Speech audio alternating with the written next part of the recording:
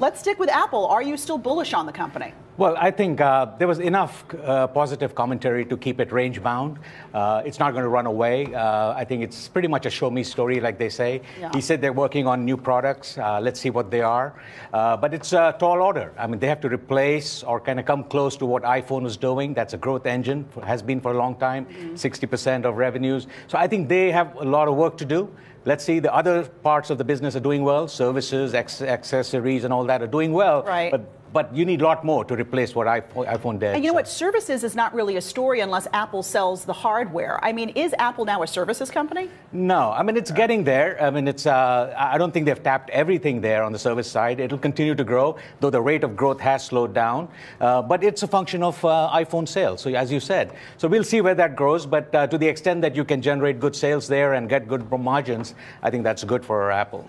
So China's slowdown seems to be a theme throughout this earnings season. Not just Apple, but now a long list of companies are, are saying blaming uh, that dispute, namely the semiconductor stocks. We heard from AMD and Nvidia, Intel. What's your outlook on the chip stocks?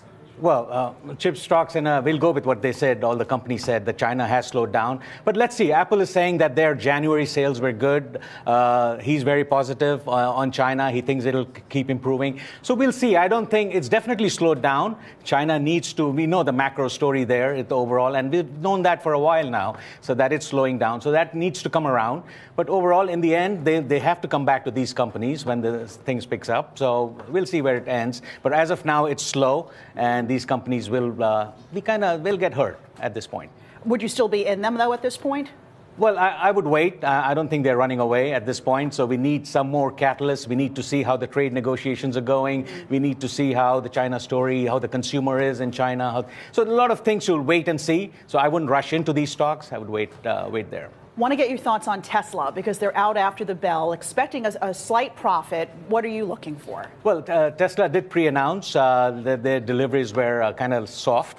Uh, uh, GAAP uh, profits were good um, for this quarter, even though lighter, but still they were profitable. Mm-hmm. I think it's Tesla is all about the future.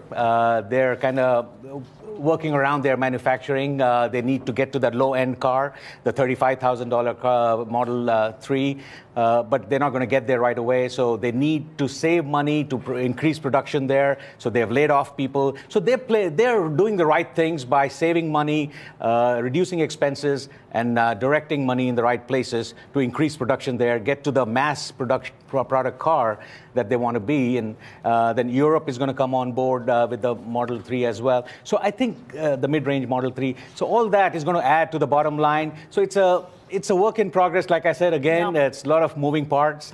Uh, then always the financing issue for them, and we'll see how they play out. Uh, at this point, it's a great company. The biggest thing is the execution risk, uh, uh but uh, you, no one can deny that it's a great company. Even Elon Musk admitting recently it's going to be quote very challenging. Very challenging.